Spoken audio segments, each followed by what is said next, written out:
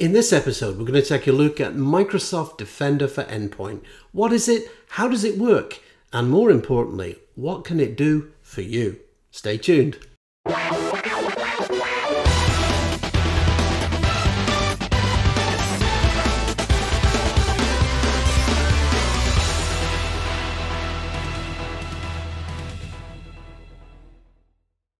Hello everyone, welcome back to the channel. So nice to see you, especially if this is your first time.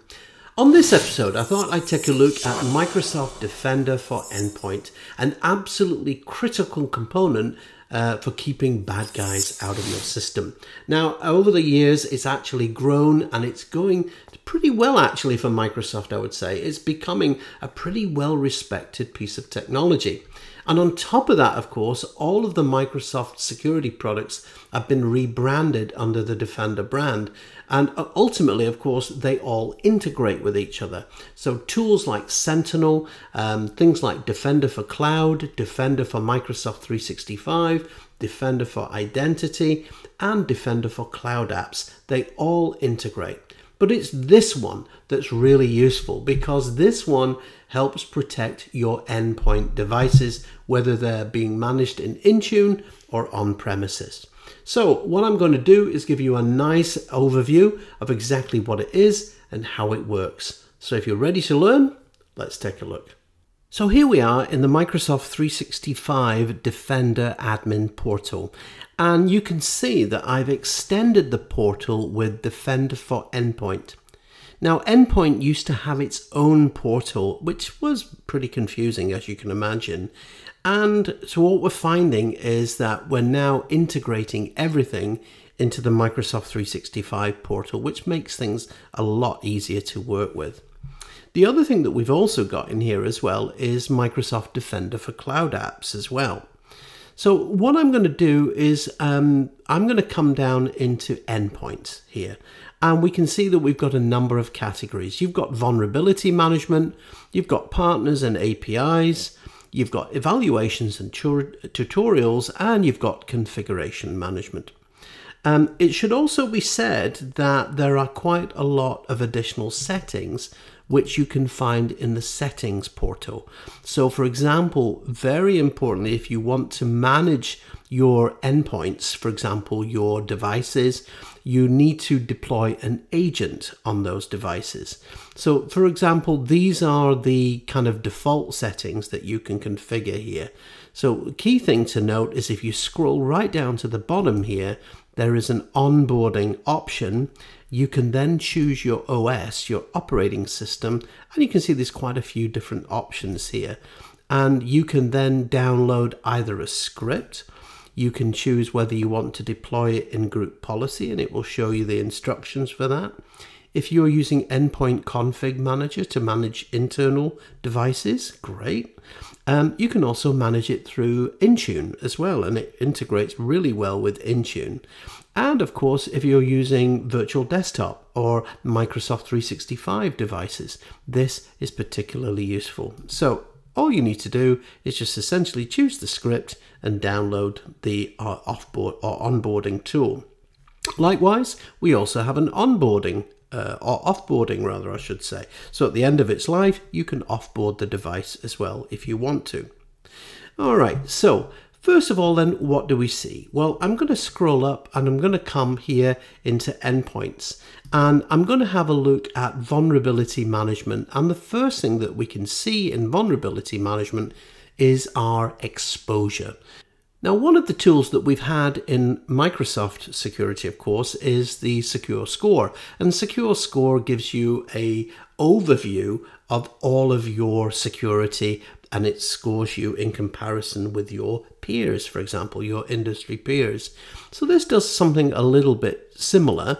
You've got an exposure score, and it talks about things like your devices, how exposed are those devices, um, things like um, the exposure distribution, so which devices are high exposure, things like digital certificates. So if you've got a bunch of digital certificates that are expiring, and it makes some remediation activities, so things that you can go and remediate. Also, it shows you what are the vulnerable software uh, options that you have in your organization. Of course, you can expand on all of these. Now that so that's kind of a nice kind of overview, and of course you can drill in and see more of these um, as we go.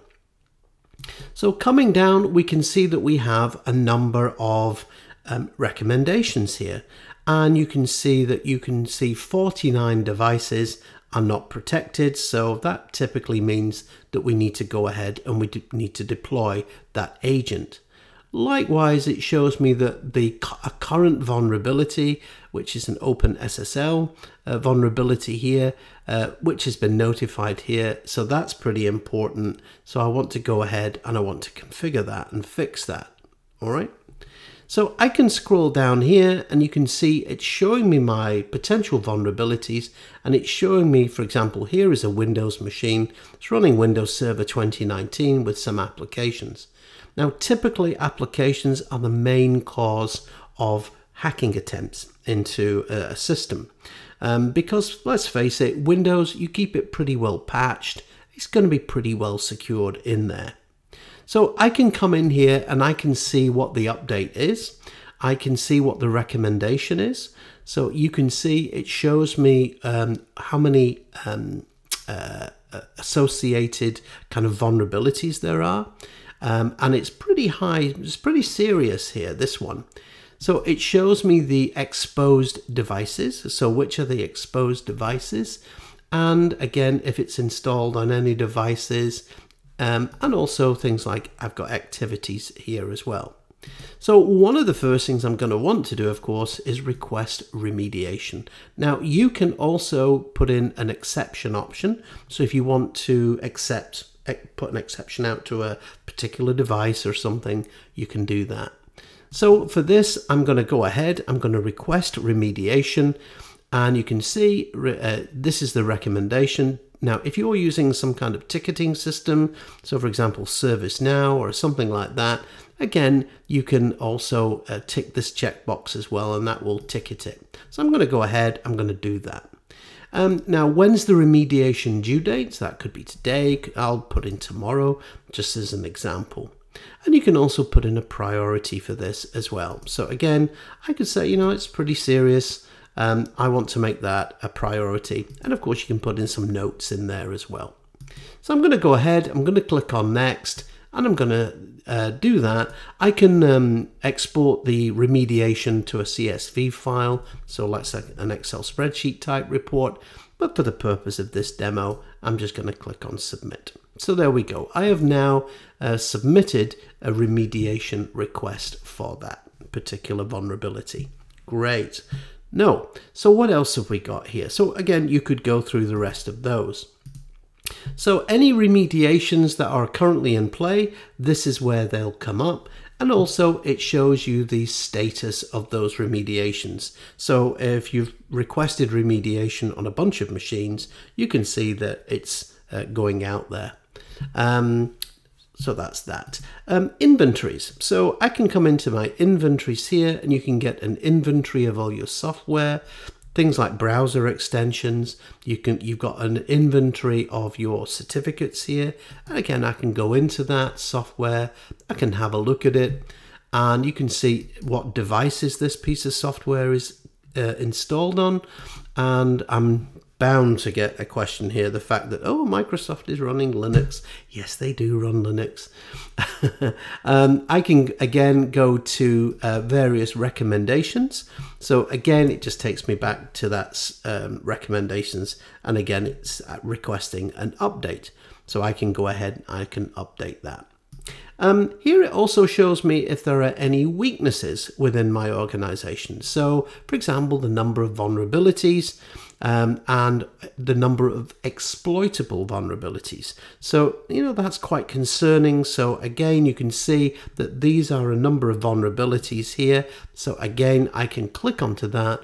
It gives me the details of that vulnerability um, what related software it's relating to, how severe it is, um, what exposed devices um, is this vulnerability on, and again, uh, is there any kind of related software there as well? So I can again go to security um, recommendations, I can come in here and again I can say, yeah, okay, that's a potential vulnerability, and you can go through that process of updating it. So now that we've done that, one of the things that I really love about Defender for Endpoint is that I can come up here to incidents and alerts. And if I click into incidents here, you can see we have a number of fairly serious incidents, I would say. Particularly this one, we seem to have a ransomware attack. So with this ransomware attack, I can click into the incident here and it shows me the attack story of the incident. So I can drill into any of these, I can get more details, I can see what's affected, and more importantly, you can actually see the timeline of the attack that's actually going on. Okay, so you, you know the service was affected, um, the command line was run, the script was run, and you get a complete timeline of that. And that's really super useful. Um, it can also show me a, um, a, an incident graph as well. So I can go in and I can view the incidents and you can see I can zoom in on that. I can uh, make that a little bit bigger. I'll come back to that in a second. So we have a number of alerts. So you can see that the incident has generated a number of alerts and you can see also the device that it's affecting and also the, the user that's affected by this. Now, in this case, it's only one machine. So I can click into this machine, we can have a look at it, um, we can see when it was submitted, who the user was, the last user that logged on. Now the chances are the user here has probably gone ahead and either clicked on a piece of malicious software, clicked a link, downloaded something, and so on. So one of the things that you can do here is you can set the device value. So for example, a server with a database is going to be a much higher value than, let's say, a client workstation. Um, I can, you can go to the devices page, which I'll show you in a second. Um, you can also manage tags, so you can you can create like tags um, to explain these.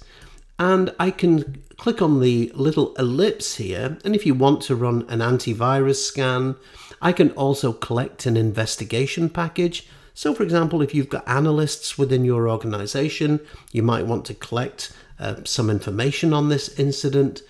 Um, you can restrict app execution on this device now.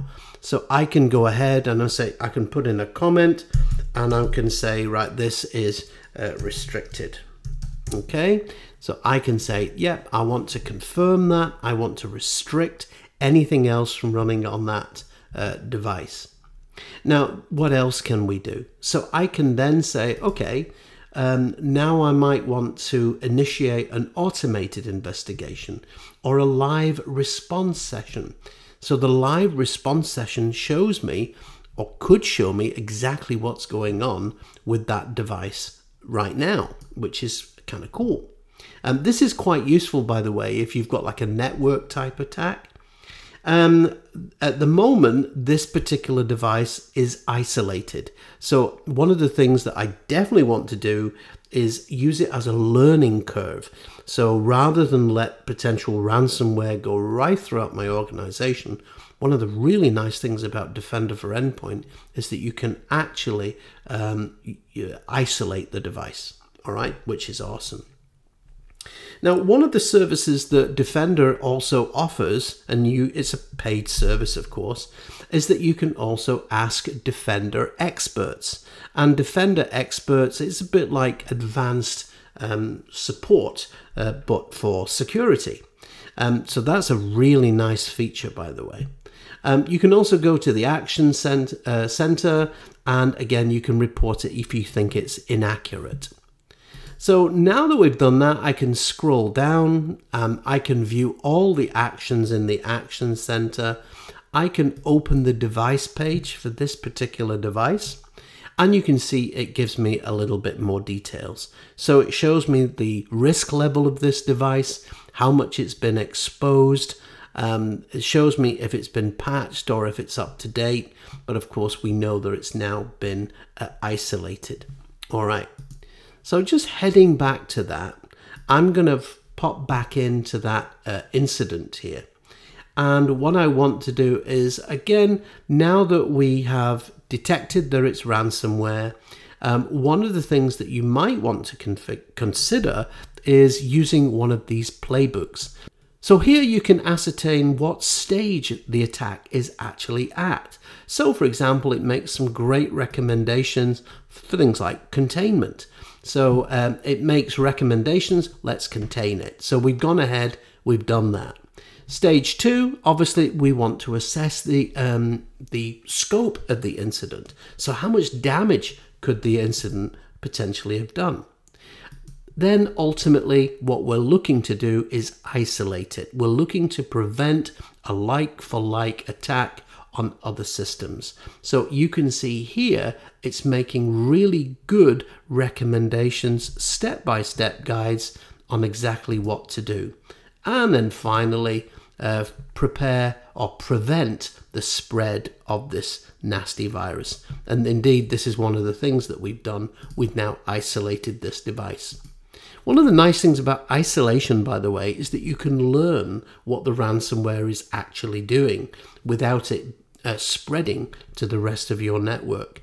So, one thing to mention, of course, is if you're on premises with Azure Active Directory uh, and you've got Azure AD Connect connected internally, you definitely want to make sure that you've got an immutable backup. So, an immutable backup means, of course, that it's read only. So, if the virus did spread to your network internally, um, it wouldn't damage your backup. And you definitely want to have some kind of offsite backup with that. All right. So that is the uh, incident. Again, I can just open that up again. Um, I can then say, hey, let's have a look at the incident graph here. Um, you can um, increase that, you can decrease it. So I can zoom in and I can say, okay, I want details either on the on the user, I want details on the machine, and what processes are actually running. So I can actually click on those processes and you can see, right, so if you've got an analyst in your organization, they might want to go through and have a look at this. So again, you can add an alert indicator. I can download the file for analysis. Um, you can also uh, ask Defender experts here as well. So one thing's for sure, the user has been attacked here and I can then go to the user page here and I can get some more details on this particular user. So I can see the details, what incidents are relating to the user, and here you get a complete timeline of everything that's happened to that user. So obviously I, I would then want to isolate this user. So okay, you can do that. All right, so that's super cool actually. Um, so as I said, incidents and alerts really really powerful and the one thing that you can also do as well is you can you can see that some of these have already started you've got that automated response as well so again if a like for like event happens again you know that that automation is going to kick in all right um, so that's a really super feature by the way so the other things that we've got in endpoint protection, eh, we had we now have this. This is great. So if you've got any connected applications, so connectors are becoming more and more important in Microsoft 365 and Azure. And we're talking potentially about data connectors. So again, are all these connectors behaving as they should or are they doing anything unusual? All right. Likewise, um, you can, you've got things like uh, an API Explorer. So this is using KQL or Kusto query language. Um, so you can run various queries um, if you're hunting or you're looking for potential malicious code.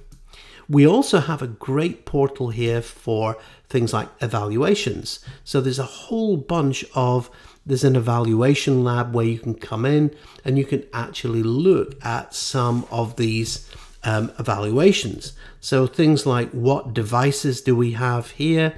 Um, again, you can see that we've got a incident here. And if you look closely at these, some of them are actually linked to other Microsoft products as well. So for example, Defender for Cloud and um, Defender for 365. So you've got an evaluation lab here. This is perfect for running simulations, uh, almost like a try before you buy scenario. And there's a number of different suggestions of things that you can do. So you can go to the simulation gallery and you can run a simulation. Again, a fantastic learning tool this. Um, so here we have tutorials and simulations. So again, we've got um, various simulations. So you can get a file. So things like um, a backdoor into a system. This is a an automated investigation, and there are a number of third-party uh, options here as well. Please note that some of these um, third-party options could have a charge, so be careful with that. All right. Finally, coming into configuration management. So this shows you just an overview of your platform, exactly where you are at the moment. So I've got Defender for Endpoint here, so I can click onto that.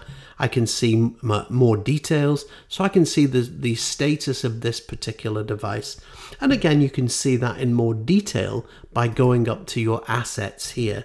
And here are my various assets. It shows me, for example, the exposure level. So I've got a particular machine here. I can click onto that machine. And it's not just looking at machines, it's looking at things like network devices and so on.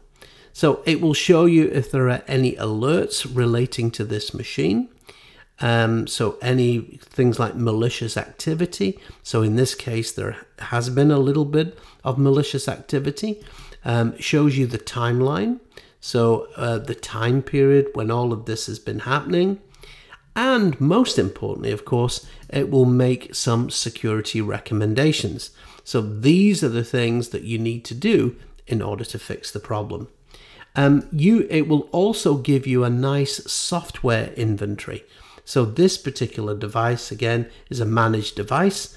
So I can manage the tags. I can go and hunt using various analysis tools. I can isolate the device on the network. So again, that might be quite useful. You can put in a reason. So again, I want to isolate this device. Do you want, do you still want to allow communications while it's isolated? I'm going to say no in this case. All right. Um, I'm just going to say for support reasons, we're going to isolate this device. All right. So I can go ahead and I can confirm that now and this device is now been isolated. And what that means is if there is any kind of infection on that device, it's not going any further. Now, the other thing that we've also got here is you've got, again, you can restrict the application execution on that device. You can run an antivirus scan. You can, um, as I said, collect investigation details. You can also set the device value for this, which is really important because that prioritizes everything. Okay. By the way, just mentioning, uh, recently I've done videos on uh, Cloud Apps. So if you've not seen the Defender for Cloud App video, then I'll post that link um, in the description. You can go off and you can watch that. Likewise, I've also posted a number of videos actually on Defender for Microsoft 365. So although I'm not covering everything here, I have done other videos on that and you're quite uh, happy to go off and look at those. Okay, so there you have it, a nice technical overview of Defender for Endpoint, a super important security feature in Microsoft 365 uh, security. And it's so good because it, it links in with all the other security products as well. Now, if you enjoyed that, please bump the like button. It really does make a difference to my channel. And if you've not subscribed, we love subscribers. So go ahead, please hit that subscribe button, ring that bell, uh, and you won't miss out on the good stuff in the future. Because I was looking at my statistics recently 20, about 25% of you that look at my channel are subscribed. So there's still 75% of you who are not. So if you are a regular visitor and you've not subscribed, please go ahead, hit the button. It does make a difference to me. All right, that's it for this week. Thank you so much. Next week, I'm off to Norway again. There's so lots more work going on. Um, so I look forward to uh, chatting with you soon. All right, have a great week. Thank you very much.